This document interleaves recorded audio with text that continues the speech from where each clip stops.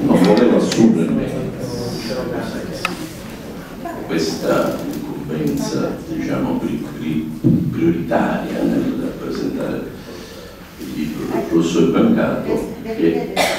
ho conosciuto e da poco che ci conosciamo sul Brancato ci siamo conosciuti in un luogo in cui o per disperazione cioè parlo livello soggettivo o per interesse o per chissà che cosa, me lo chiedo ancora dopo tanti anni di frequentazione degli archivi, e in particolar modo dell'archivio del Stato di Palermo, di essermi un giorno imbattuto in una richiesta da parte del professor Brancato che precedentemente avevo sempre visto come una persona completamente assorta, estraniata dal, dal contesto. E che con una tenacia che veramente dava quasi fastidio ecco, di essere sempre appresso alle carte dell'archivio di Campo Caporeale e mi chiedevo ma non mi chiedevo chi fosse questa persona. Un giorno vedendo il suo nome scritto nel libretto delle richieste dei volumi ho visto un, cognome, Brancato. Brancato mi dice qualche cosa, mi ha detto qualcosa perché ho conosciuto il papà del professore Salvo. E quindi da questo è nato questo avvicinamento, questa curiosità di sapere di più qual è l'argomento che lui ha trattato, aveva preso in considerazione come obiettivi.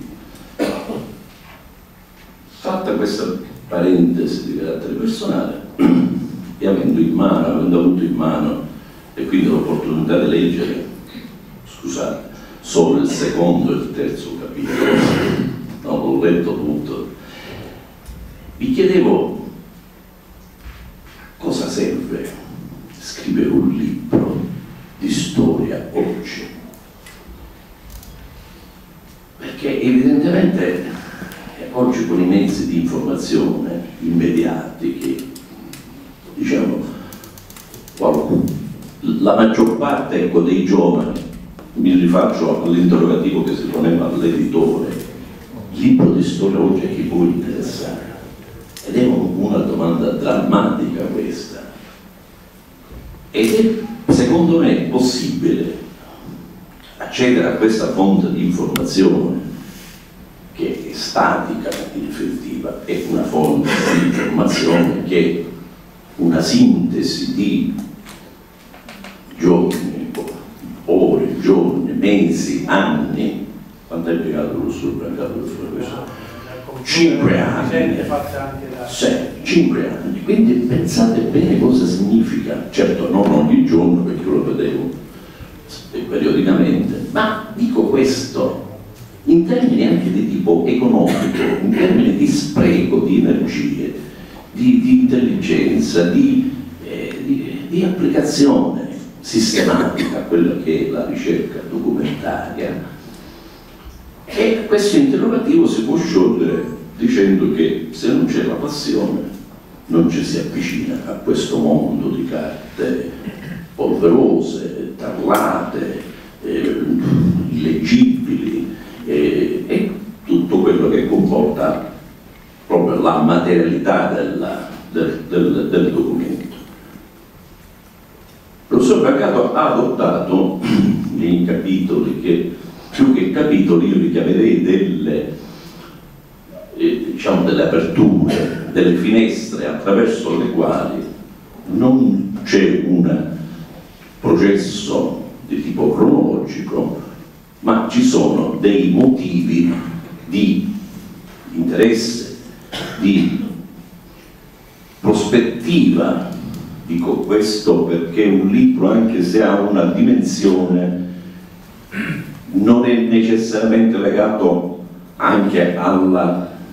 scansione cronologica, uno può affrontare determinati argomenti e questo è un tanto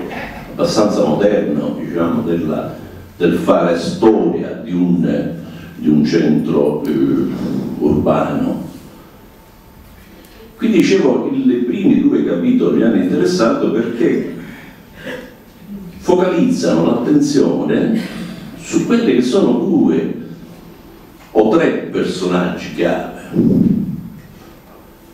Il Bellacera come, nel 400 come imprenditore di eh, canna da zucchero, il Galletti o Sentelles con l'imparentamento con il conte di Gagliano e poi infine con il fondatore, cioè quello che materialmente ha messo la prima pietra questo centro del palermitano che l'FM Bologna, come lo chiamo io, Francesco Maria Bologna. Evidentemente questo sono i cardini attraverso i quali passa, è passata la storia del, non dico del territorio di Altavilla che ha una, quanto pare, presenza molto più antica. Certo è arduo fare un libro che parli, parta dal XII secolo al XIX secolo, mi scuso professore, dico è, è, è pesante diciamo nella ricerca. Però dico questo che nelle, diciamo, nella struttura di questo eh, libro articolato evidentemente si, va, si, vanno a centrare degli obiettivi, delle, degli, degli, degli, elementi precipui nella, diciamo, della lettura di quello che è poi lo sviluppo urbano del, del, del paese, della città, quello che sia. E questo è un elemento che dà, cioè ci dà molti spunti per poter dire, io non sono molto, eh, non mi piacciono le, i libri di storia, ma più che altro storia come avvenimenti di carattere generale, di storie che coinvolgono la macrostoria, quella che noi indichiamo come macrostoria. Io sono più diciamo scendo più nel dettaglio, ma la storia come elemento di ricerca, io mi ritengo un compilatore. Il compilatore è colui che fa una classifica, fa, mette degli elementi uno dietro l'altro, come il ragioniere, no? Io me ne tengo tale, anche se i miei interessi di ricerca storica sono ben tutt'altro diversi da quello del professor Brancano, di cui ho apprezzato diciamo, sua, ripeto, il suo interesse e la sua passione per questo, per questo centro urbano. I miei interessi sono di tipo militare, cioè di storia militare del Cinquecento, quindi c'entra con Altavilla in un certo senso, perché volendo se il Bellacera si costruisce il suo punto di riferimento del trappetto di canna da zucchero, che è l'elemento fondante poi del Baglio, del Fondaco, della torre armata, perché il Bellacera aveva un suo diciamo, parco di artiglierie del 400, pensate un po', per la difesa della costa dalle incursioni piratesche. Ma di questo evidentemente ci possono essere anche altri motivi per approfondire gli aspetti territoriali in rapporto alla territorialità del, diciamo, di questo feudo, perché poi in fondo era un feudo Altavilla, rispetto a quella che era il rapporto con la territorialità di Termini. Ecco, questo aspetto di conflittualità tra una città demaniale di grande rilievo Termini Verese rispetto a quelle che erano che era la, diciamo, un piccolo feudo che poi successivamente ha degli ampliamenti e degli allargamenti nel territorio io non voglio ulteriormente dilungarmi, faccio i complimenti anche all'editore, gli ho già fatti, perché il carattere tipografico è bellissimo, è anche entusiasmato in altri.